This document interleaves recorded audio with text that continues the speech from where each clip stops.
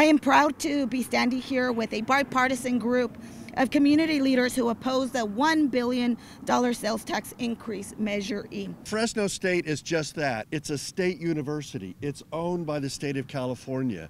And the, the people of Fresno County should not be burdened with a tax increase to pay for improvements that the state should be doing of its own. Assemblyman Jim Patterson, who served our area for 12 years and now is finishing, has never entered a bill not one time in 12 years has he ever entered a bill or anything else that could help Fresno State.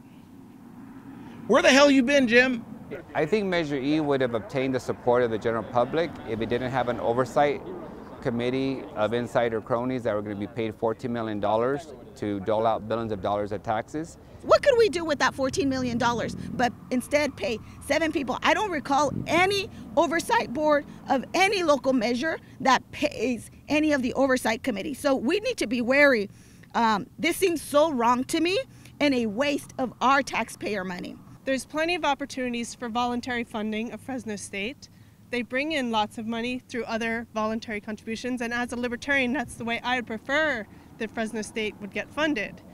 But it is a state school, not a Fresno County school, and it should not be funded by aggressive sales tax. Regressive sales tax means that the poorest pay as much or more as the wealthiest in the county. People who benefit from the, from the university donate to it.